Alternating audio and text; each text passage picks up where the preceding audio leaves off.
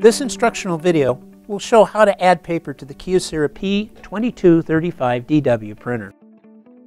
Pull the cassette tray out of the machine. The cassette is set for letter size paper at the factory. If you're using legal, folio, or Officio 2 paper, resize the cassette by pushing this lever forward to extend the cassette. Fan the paper to separate the sheets. Tap the paper stack on a flat surface to square up the pages. Load the paper by sliding the end of the paper stack toward the rear of the cassette. Ensure that the paper is resting below these guides. Gently slide the tray all the way into the printer.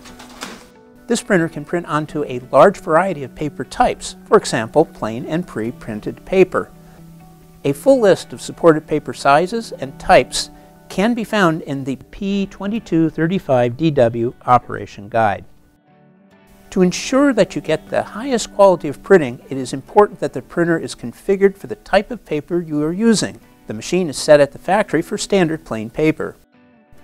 If you intend to use a different paper type, you must change the paper type and or size in the Paper Settings program. View the Config Tool video for complete instructions on installing and using the program for paper setup in the cassette. The MP or multi-purpose tray is found at the front of the printer. The MP tray allows your printer to use more paper types and more sizes than the cassette tray. For example, cardstocks or labels or envelopes. Open the MP tray by pulling down on this latch. Slide the top tray out. You can adjust the paper size by sliding the paper width guides to paper sizes inscribed in the tray. Insert the papers along the paper width guides until it stops.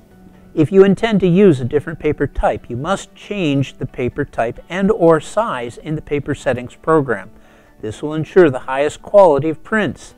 View the Config Tool video for complete instructions on installing and using the program for paper size and type setup.